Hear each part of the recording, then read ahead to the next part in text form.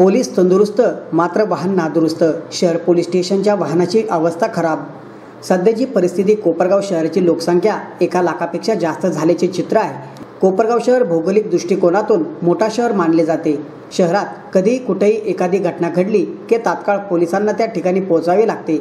आतापर्यंत पोलिसांनी शहराची सुव्यवस्था टिकून ठेवण्याची रात्रंदिवस मेहनत घेतली आहे. आणि अजूनही घेत आहे मात्र सध्या शहर पोलीस स्टेशनला देण्यात आलेली सरकारी वाहनं म्हणजे जुन्या काळातलं ट्रॅक्टर म्हटलं तर नवलच वाटणार नाही. सध्याच्या वाहनाची परिस्थिती तशी आहे. या वाहनाला लुना मोटरसायकलवर प्रवास करणारा देखील मागे टाकून पडू शकतो अशी परिस्थिती आहे. विशेष रस्त्यात गाडी पंक्चर झाली तर या गाडीला ना स्टेपनी नाही आणि लाल दिवाई नाही. अशा स्थितीत जर काही अनुचित प्रकार घडला आणि त्या ठिकाणी पोलिसांना तात्काळ पोहोचायचे असले तर ते शक्य होणार नाही. शहरातले लोक जेव्हा ही गाडी पाहतात तेव्हा त्या गाडीचं स्पीड व दशा बघून त्यांच्या तोंडातून आपोआपच निघते की ही गाडी कधी चोरांचा पाठलाग करून पकडेल. हे पोचेपर्यंत शहरात मोठी दुर्घटना घडू शकते. आधीच पोलीस संख्याबळ कमी त्यात अशी गाडी त्यामुळे कोपरगाव शहर पोलीस स्टेशनला नवीन वाहन देण्यात यावे अशी मागणी शहरातून होत आहे. मी असं मागणी करू इच्छितो की कोपरगाव शहरात साधारण एक लाख लोकसंख्या आहे. आणि कोपरगाव शहराचा विस्तार बघता काही कालावधी काही वर्षापूर्वी कोपरगाव शहरात दोन पोलीस स्टेशन झाले एक शहर आणि ग्रामीण. आता शहर पोलीस स्टेशनचा जर विचार केला तरी आज आपल्याला दोन तीन किलोमीटर अंतरापर्यंत चार किलोमीटर अंतरापर्यंत अशा मोठा परिसर या परि पोलीस स्टेशनच्या अंतर्गत आहे. मात्र गेल्या काही दिवसापासून मी बऱ्याच वेळ जात असताना पोलीस पोलीस जी व्हॅन आहे पोलीस जी गाडी आहे ती कायम बंद पडलेली असते आणि त्या अ, रोडच्या परिसरात एका फिटरकडे त्या गाडीचं काम सुरू असतं.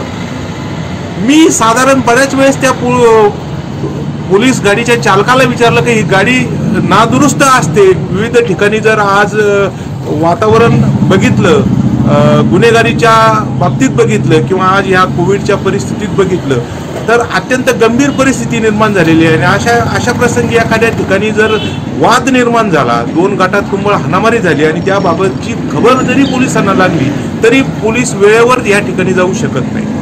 माझी डीवायएसपी साहेब यांना विनंती राहील की या माध्यमातून आपल्याला जर कायदा आणि सुव्यवस्था राखायची असेल तर निश्चितपणे ह्या पोलिसांना चांगल्या प्रकारचं वाहन जर दिलं तर निश्चित प्रकारे या परिस्थितीवर आळा घालता येईल.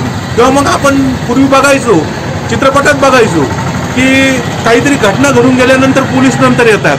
मग हीच परिस्थिती जरी इथं होत असेल आणि ती केवळ त्या वाहनामुळं होत असेल तर माझी विनंती राहील जिल्हाधिकारी साहेब असतील डीवायएसपी साहेब असतील किंवा पोलीस अधीक्षक असतील यांना विनंती राहील की ह्या कोपरगाव पोलीस स्टेशनला ज्याप्रमाणे तालुका पोलीस स्टेशनला नवीन वाहन दिलं त्याप्रमाणे कोपरगाव शहर पोलीस स्टेशनलाही नवीन वाहन द्यावं.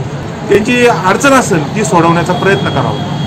महाराष्ट्र नवनिर्माण सेनेच्या वतीने काही दिवसापूर्वी आम्ही आमदार व जिल्हाधिकाऱ्यांना मागणी केली होती की इथल्या तालुका व शहराच्या पोलीस स्टेशनला गाड्या जी गाडी आहे पोलीस स्टेशनची त्या गाड्या काय व्यवस्थित नाही आहे त्या गाड्या संदर्भात आम्ही मागणी केली होती. त्या गाडीमध्ये फक्त तालुक्याला गाडी मिळाली पण शहराला काय गाडी मिळाली नाही. तर शहराची इतकी वाईट परिस्थिती आहे. त्या शहराच्या गाडीची अवस्था अशी आहे का तिला रात्रीचं कोणची काही घटना घडली तरी पण ती जाऊ शकत नाही. तिला ना सायरन आहे ना स्टेपनी आहे ना काय कोणतीही गोष्ट नाही. तर आणि करोनाचे पेशंट वाढलेले नको त्या घ- घटनेच्या ठिकाणी शहरामध्ये तिला फिरावं लागतं.